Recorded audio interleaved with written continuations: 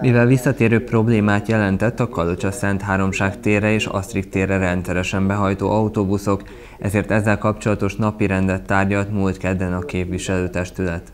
Az említett probléma egyúttal azt jelenti, hogy a Csillás Parkban kialakított buszparkoló funkcióját tekintve nincs kihasználva, hiszen a turista buszok a Zárda templommal szemben állnak meg.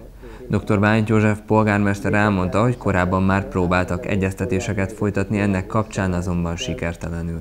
Hiába ültünk le a, a utazási irodákra, írtuk fel a figyelmet, hogy miért lett létrehozva a parkoló, a gépjármű vezetők, tehát a buszok össze-vissza parkoltak, ezt bekívántuk szigorítani.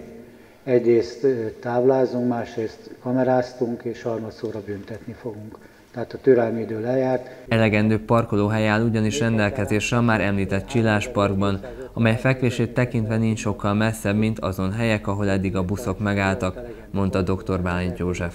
Az átjárás biztosított, majdnem ugyanannyi átsétálni onnan, mint a leszállóhelyről oda sétálni, tehát gyakorlatilag semmi nem indokolja, hogy a buszok ne ott parkoljanak, ezért egy kicsit keményebben kell fölépnünk, és ezeket a tiltótáblákat elhelyeztük már, előzetesen függetlenül, hogy utólagos jóvágyást kérünk rá.